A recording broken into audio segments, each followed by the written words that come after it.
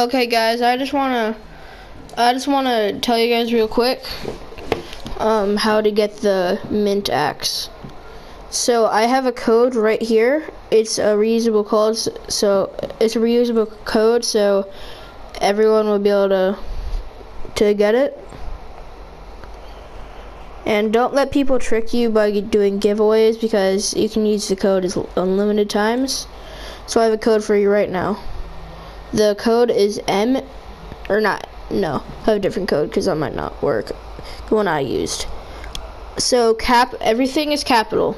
R, D, 5, Y, X, E, H, Z, 3, S, 9, 5, V, 5, J, X, N, 3, 7, 8, and that's it the way to go to do it is go on Epic Games website and then click your name.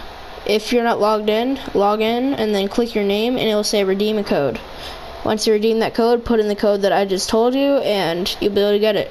But you won't get it immediately because when the Halloween update comes out is when you'll get it, okay? And there you go, that's how you do it. And make sure to like, subscribe, everything like that, and see you in the next one. Bye.